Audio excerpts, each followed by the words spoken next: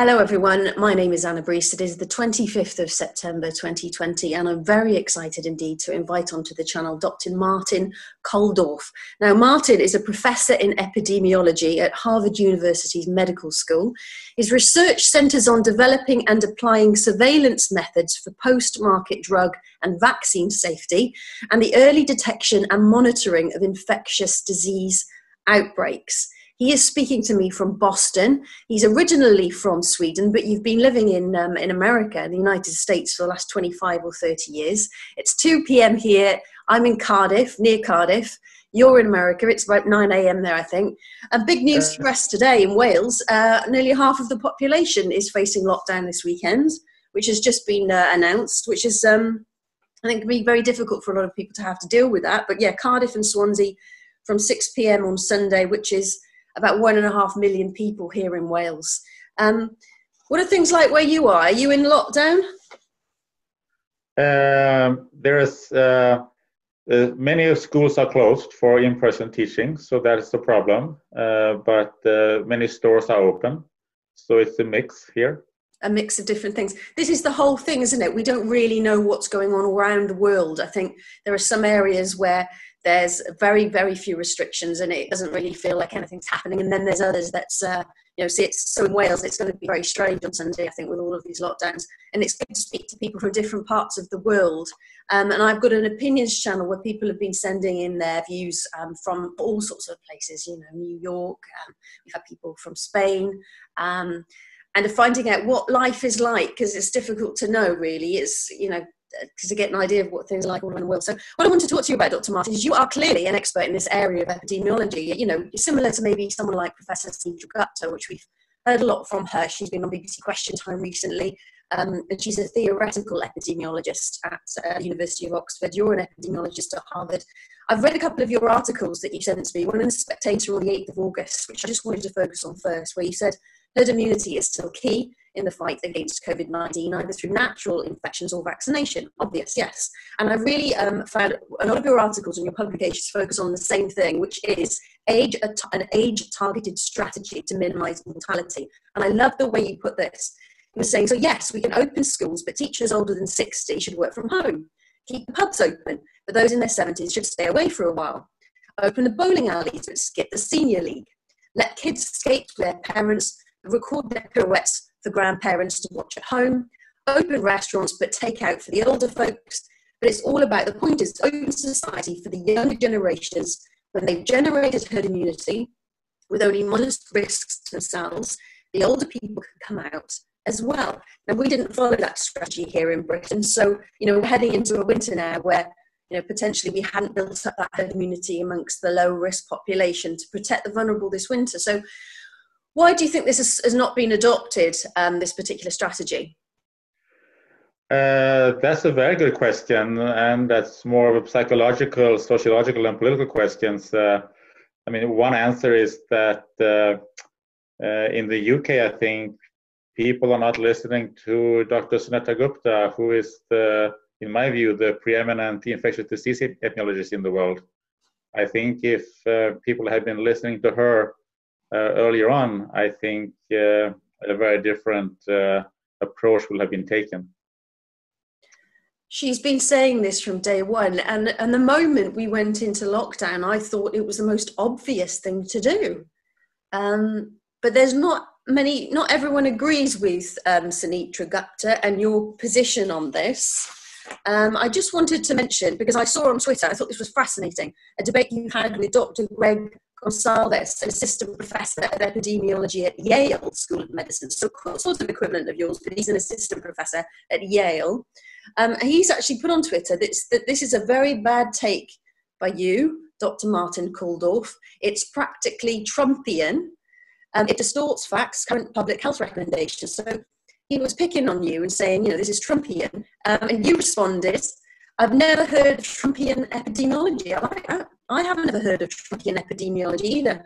Um, it, it is beneath you and any other scientist to make political insinuations or accusations as part of scientific discourse. You said it's unhelpful and dangerous politicization of public health and you felt that that was sad. So you you, you obviously have a different view to, to Yale. I would invite that uh, professor, assistant professor from Yale, to come on the channel as well. What's going on here?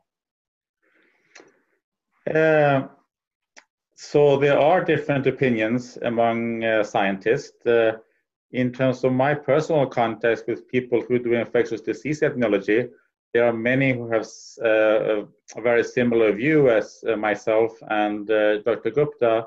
And as you said, I think uh, it's it's it's not like a it's sort of a very natural approach to do the age-targeted strategy. It's what comes natural to public health. It's sort of based on public health practice, while having major lockdowns across the board for the whole society is something that was never thought about or, or, or uh, planned uh, before 2019 or to, uh, so that's a new thing and it's sort of stunning i think as a as a public health scientist to see this and and the key is that for covid uh, for the elderly this is a very serious disease it's uh, much worse than the annual flu much more dangerous uh, on the other hand for children this is a very mild disease uh, and much less serious than the annual flu. So even though there are not that many children who die from the annual flu every year, there are some, but COVID-19 is even less. And we can see that, for example, from Sweden, which uh, never closed its uh, daycare centers or primary middle schools. So all children in Sweden from ages 1 to 15 uh, were in daycare or school throughout the height of the epidemic. And among those 1.8 million children, uh, there were exactly zero deaths from COVID 19.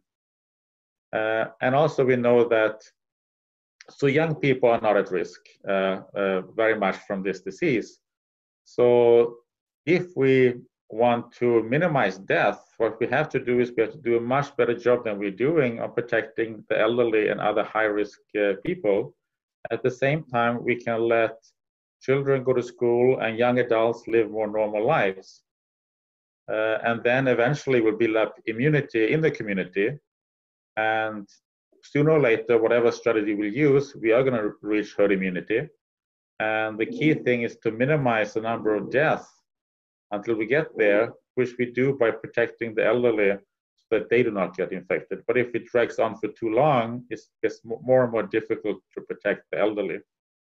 Uh, so what we're doing now is we're essentially protecting low risk college students and low risk professionals who can young professionals who can work from home even though the risk is minimal at the same time uh, older working class people have still have to go to work to make a living uh, as a bus driver or a store supermarket attendant uh, or, or a janitor etc so uh, we are putting them at, at risk even though they are at high risk. So in a sense we are protecting low risk uh, people who are more highly educated or, or privileged while throwing the working class under the bus Absolutely. I um, it, it, makes sense, and it's obviously an opinion shared by many epidemiologists, top epidemiologists all around the world. The conversations that you have, are you in kind of a email correspondence with um, these other, you know, epidemiologists? What, what's your general feeling? Do you think they're they have the same view as you, or do you think it's sort of 50-50? Can you give any kind of guidance on the conversations you're having with other individuals with similar expertise around the world? So uh, I don't know what the percentage is among all infectious disease epidemiologists, uh, but among those who have personal contact with, there's a majority who agrees with the age-targeted approach, and a minority uh, who pursue uh, a mixture of uh, uh, lockdowns with contact tracing. So there are both opinions within the with, within infectious disease epidemiologists but unfortunately, there's there's no uh, discussion which it should be. And uh, I have uh, there's a person uh, in uh, in New York who, who, runs the Soho discussions.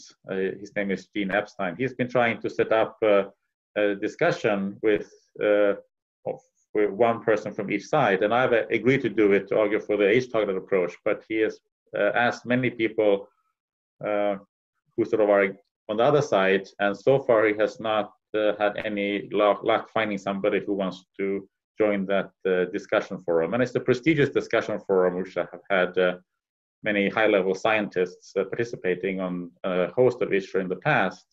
So there is a reluctance, I think, from from uh, some to actually discuss this in the open, and I think that's very bad both for public health and for science. We need to discuss these things. Um, Maybe they're concerned, you know. So, for example, the child, a five-year-old child at school, comes home and they've got an eighty-year-old grandparent living with them and maybe they don't want to be responsible for promoting a herd immunity strategy when you can't separate different age groups. Is that possible? Uh, so I think that's one of the arguments they're using, and uh, we have to do a better job protecting that uh, grandparent. Uh, they are not so much at risk from the child actually, but if they live with a son and or a daughter as well as children, they are at risk from living together with a working uh, age adult. And there was a study from Sweden where they compared the risk, the COVID risk for people above 70. And those who live with a working class adult below age 65 has, I think it was 60% uh, excess risk compared to if they live with uh, somebody their own age, above 65. So there's clearly the the elderly clearly have an increased risk if they live with an adult which is in the working age and therefore out uh, out and about. So uh, we need to protect those elderly. Um, if if the son or daughter that they live with cannot work from home, maybe they should live with a sibling for a while, or maybe we can use some of the empty hotel rooms uh, to house them for a while during the time when the during the peak of the transmission in, in, the community. Because it is important that we protect them. And it's not trivial but there are ways if we want to that we can do that uh, the age so the age uh, targeted strategy i think is a, is a good way of summing it up isn't it um, I, I, want to talk to you about this. This you basically uh, are very clear, and I spoke to a guy called GP Ricochet. You get herd immunity either through vaccine or natural infection. And there was a Times article today that said one in five of the population won't take the vaccine. They don't want to. They don't think it's safe. Um, I've heard even higher figures than that. You know, some surveys suggest it's sort of up at the 40% range that people don't feel comfortable taking a vaccine. Um, I think it's also important to say back in June, I was contacted by an individual who is in a um, Facebook group and friend with somebody who is a top um, epidemiologist at a different university, well known university, um, and I'm aware that that individual um, has a very similar view to you, that particular individual has funding concerns uh, about speaking out. Do you think that that's possible? Um, that some professors from some universities aren't speaking out because of funding issues? Uh, I think certainly there are those concerns uh, because as scientists we apply for grants and those grants are judged by a committee and the majority of those that committee will decide whether this particular grant is funded or not. And obviously, they use scientific criteria to judge that. But this is a very uh, contentious issue. So, if the majority of scientists are sort of have a different opinion, that could have uh, bad consequences down the road. And some scientists, as the example that you gave, can be pretty uh, harsh in their judgment of other scientists. Uh, and of course, if that happens during a, uh, a deliberation about who should get grant funding, that could have consequences. And while most of the infectious disease epidemiologists that I talk to uh, uh, agree with the age targeted strategy, among other scientists outside of that field, I think there is a majority who have a different view on this. And certainly among those scientists who are vocal about their views. So why, why is Yale, or particularly that individual at Yale, different to Harvard? Well, I don't know if there's a different uh, between different universities because they, at Harvard there are people who have different views. Uh, i assume that's true at, at, Yale also. At Stanford, there are people like Jay Bhattacharya and John Ioannidis uh, who are uh, very, uh, very supportive of having an age-targeted strategy. But there was also a letter from '98 uh, faculty members denouncing Scott Atlas, who's also from Stanford, uh, for his views uh, without really stating what they were against. So I think each university probably have faculty uh, with different views, and that's the way it should be. That is the way it should be, shouldn't it? It's fascinating, absolutely fascinating. And what do you? Because you're all clearly have a, a, expertise in this area. Um, do you think it's uh, what do you think is driving that? Really, what do you think is driving that? Is it because for me, I would want the least amount of suffering. That's what I would be looking for the least amount of suffering, not just death, suffering. Is that what's driving these different views? I think there are three things that drives the difference, and there might be more, but uh, I, I, think there are three things. One is uh, one can look at the pandemic in terms of COVID 19. How do we minimize death from COVID 19? How do we deal with COVID 19, like exclusively on this one disease? Versus taking a more holistic public health perspective, uh, where one also looked at what is what are the collateral damage from the lockdowns, from school closings. And we know that they are huge because uh, we know that people don't go to the doctor uh, as much as before, and people didn't go there for fun. They go there to improve their health. So uh, there are worse uh, cardiovascular disease outcomes. People are not getting their cancer screenings, and uh, that's not going to show up in the mortality statistics this year. But somebody who who will now maybe die three years from now instead of 15 years from now. So those are things that are, have long-term effects. Uh, we have problems with mental health. Uh, uh, house evictions is a problem in the United States now, and that has major public health consequences in addition to everything else. Of course, education is important. So I think that some view it more more focused on how do we deal with COVID-19, while somebody like Dr. Gupta uh, takes a very broad perspective on uh, public health. And I think that's one of the differences. Uh, another one is a traditional way to deal with infectious disease outbreaks is contact tracing, testing, and isolation. So, for example, we had a few cases of uh, Ebola in the United States. And it's key then you isolate those patients, you, you uh, interview them, who are all their contacts, you test the contacts, you might isolate contacts, and so on. So that's a very traditional way to deal with many uh, infectious diseases.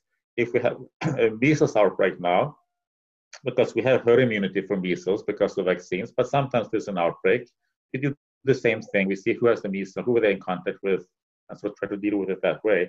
So that's a very common approach to infectious disease outbreaks. And for many outbreaks, that is the correct, the right approach. But uh, and some people think that should be used for COVID. So my view and view of many of my colleagues is that for uh, things like the annual influenza or for COVID-19 or by definition for any pandemic, those are not feasible strategies. And uh, same true was measles before we had a vaccine. That wouldn't be a feasible strategy to deal with that. Um, so I think there's a there's a different opinion of whether this contact tracing together with lockdowns is a feasible strategy uh, for the long term in terms of uh, uh, COVID-19. So that's sort of a more of a scientific public health difference. I think a third difference is uh, for me um, uh, as a scientist, and presumably for you as a journalist, we can work from home uh, I still get my salary. So I don't see the major uh, uh, consequences from the various lockdown measures that is taking place. Um, uh, there are certain nuisances, uh, but it's nothing major. But for the working class, it's a very different story. Uh, people losing their jobs, uh, people not getting the health care they need, uh, kids not being able to go to school, and uh, the school closings are bad for all kids, but it's particularly bad for working class children. So I think there's a difference in perspective uh, whether you sort of see your own group of people more versus uh, thinking of the whole population, including the working class.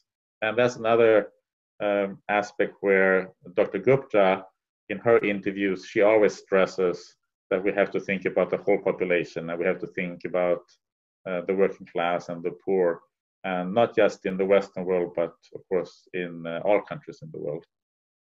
So I think that's the third uh, difference, and uh, there might be more reasons, but and yeah. Well, uh, at the beginning of lockdown, I remember thinking, you know, the the single mum with five children in a flat um, without any garden um, and maybe no support or family to help her. That's tough, you know. The, or anyone that's the, the vulnerable children. Um, but then, you know, the the, the middle class who've on furlough getting paid and they've got a mum and dad there and support with family and friends around them is a different situation. You're right. And we often just look at our own lives, don't we? And then make judgments on how we've been impacted rather than looking at how all these different areas of society and having, you know, worked in the media, I think the media is very much a focus of this channel because I know how news is delivered to organisations such as, you know, uh, the Times or the Guardian or the Sky or BBC. It comes on a news wire, and different organisations put forward surveys or statistics. And I, I, don't think vulnerable children, for example, are really getting, or those victims of domestic abuse are getting their voices heard. And there isn't money in it. You know, there's no PR, there's no communication strategy for that for those members of society. So it takes um, it's, it's very difficult to know isn't it because you, you only know what's around you or what's on media media that you watch and going back to i think this is really important now going back to this vaccination situation because you said to me in the email which i thought was really helpful um, you know a lot about vaccine safety so like i was saying the times article suggests one in five won't take the vaccine. Um, others say higher numbers than that. You said to me though you you you don't want to talk about immunology or masks or treatment options because that's not your area of expertise. So i'm not going to ask you about that but i am going to ask you about vaccine safety. So what's your position on this vaccine that's being produced? And and i know trump has said it should be available in november. So my position is that i don't know uh, and because nobody knows and it's impossible to know so to ask if people want to take the vaccine, if people ask me, I would say, I don't know because I don't know, we don't know what the efficacy of the vaccine is, and we don't know what the safety profile of the vaccine is. Uh, so if it's a great vaccine that's uh, 95% uh, has 95% efficacy, for example, with no adverse reactions, then I would expect that most people would like to take this vaccine. But if it's a vaccine that has 50% efficacy with certain adverse reactions, then not everybody should get it. Maybe certain people should get it, but not everybody should get it. So we don't know enough about this. It's impossible to know because this is what's being studied now in the clinic in the clinical trials. It's impossible to know, but it is possible to know how long uh, it takes generally. So the vaccines that have been produced um, that we've taken before, how long do they usually take? You mean to develop? To develop, yeah. Uh, it takes usually several years. So, I mean, it's very impressive, the vaccine developers, how they have really sped up this process. Uh, so, that's uh, those scientists, uh, I'm very impressed with uh, what they're doing. Uh, there are several dozens of vaccines that are in the pipeline. I am sure that many of those are not going to be viable vaccines, but we have to hope that uh, at least one, but hopefully a few of them will be, and uh, we'll see how they will be, uh, how they perform. And what usually happens when a vaccine becomes available? So I saw someone in Russia taking one this week. Do you do they usually give it to like um, a certain part of the population, then wait to see what happens, or as soon as it's safe, does, is that a free for all? Basically, everyone, millions can have it. How does it work? No, I think they will prioritize it, and it's not clear. But for example, they might prioritize healthcare workers and staff at nursing homes uh, to protect uh, the residents. Uh, but it also depends on the vaccine because some vaccine might work very well in the elderly, but other vaccine might not work well in the elderly because they have a, a, not as strong an immune system. So they might not. So the best thing to, the best uh, way to protect nursing home residents might actually be to give the vaccine to the staff rather than to the residents. But that depends on the vaccine, and we don't know that yet. Are we uh, definitely going to have then, a vaccine? But then, pardon? Are we definitely going to get a vaccine? We don't know for sure. I mean, for uh, for uh, uh, HIV, we have tried to develop a vaccine for a long time, and we there are some vaccines there, but they are not good. So there's nothing good there on the on the market yet. So we don't know if if, we have a vaccine uh, by the end of this year, or if it will take a few years, or or or never. We don't know that. Uh, now, once a vaccine has been approved, that's approved by a, a, through the phase three clinical trials, where you have some people get the vaccine and some placebo, and you compare the efficacy as well as the, any adverse reactions.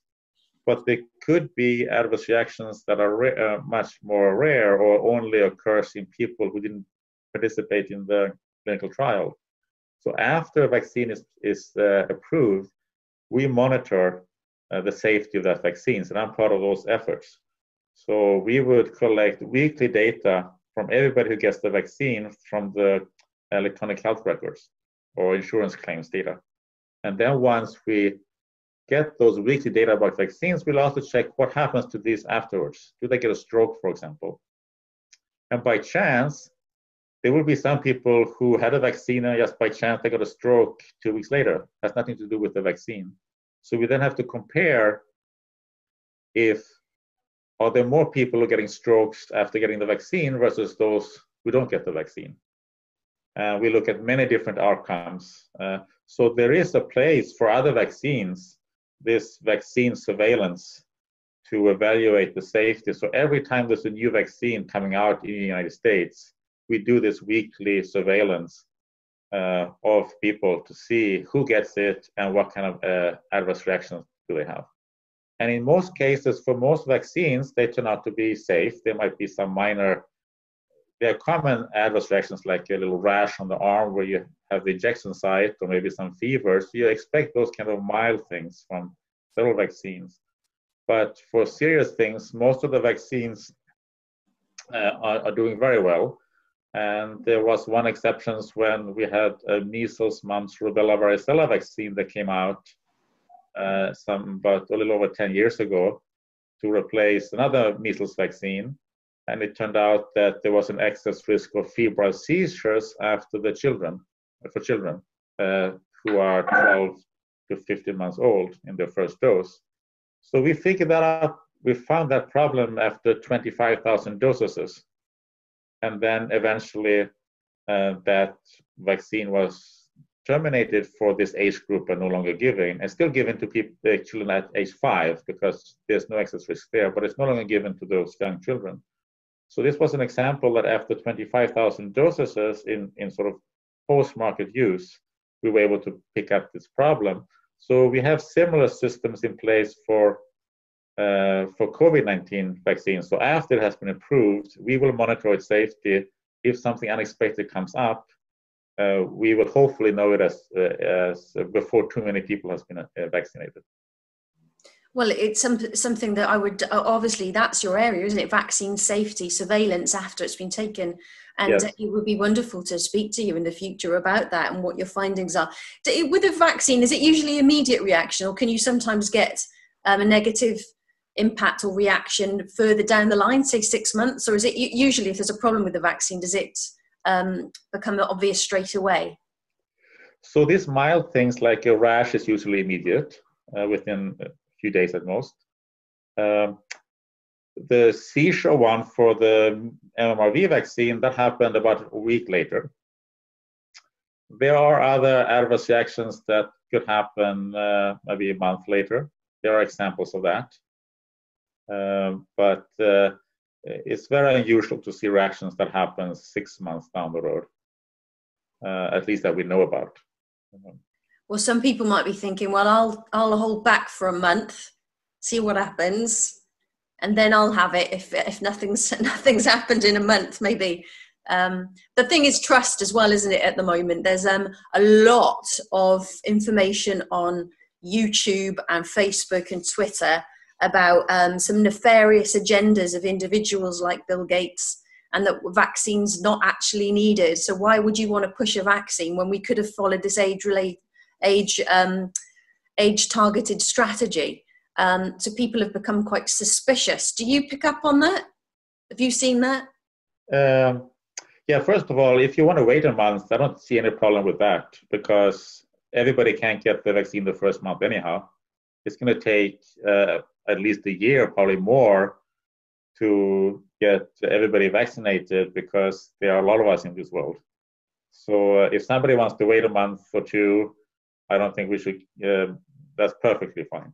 There will there will be other ones who I think are eager to get the vaccine.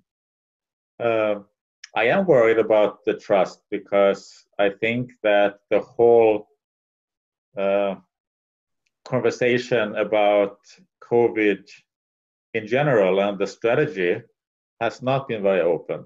And I think that creates distrust in the population. So we have to have a much more open discussion about strategies. Uh, and that's very important. And I think one consequence of the last six months is that the uh, the trust in science and scientists uh, uh, is taking a huge hit and we'll do it even more as uh, more and more people see what the results are of these different strategies. And that's going to affect the trust that people have in vaccines. So I think it's important that, and then when people bring in politics also into the whole thing, that make that when scientists argue partly science and partly politics, like calling something Trumpian, I think that destroys a lot of trust because everybody then who don't like Trump will think one thing, and those who do like Trump will think the opposite. Uh, and as public health scientists, I think we need to leave that kind of a party politics out of it. Uh, we have to, in order to uh, to have the trust among the general population, and that trust is a foundation of public health.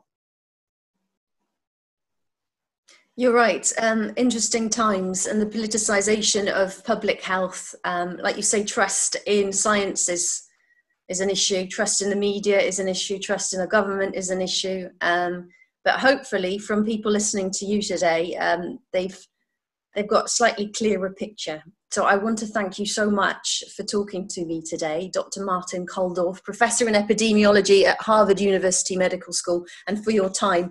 Is there anything I've not mentioned that I think you, you may you think is important at the moment? No, I think uh, very good questions, and I really enjoyed this conversation. Uh, so thank you very much, Anna enjoyed it too. You take care. Hope to speak to you again, especially as we get nearer to when that vaccine becomes available um, and the surveillance options that you're obviously very closely involved in. Anytime. Thank All right, so take much. care. Thank you again. Bye-bye. Bye.